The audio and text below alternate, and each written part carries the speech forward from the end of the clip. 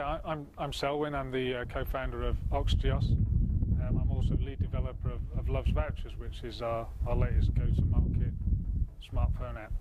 So Loves Vouchers is a smartphone, a smartphone app. It's a location-based app. It allows you to find great deals near to you, um, ordered by proximity.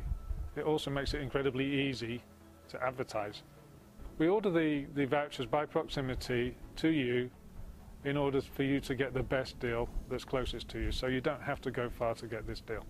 So, you know, if, if it was an option of uh, two, two swimming deals, you don't want the one that's prioritized on a search engine because that could be 10 miles away.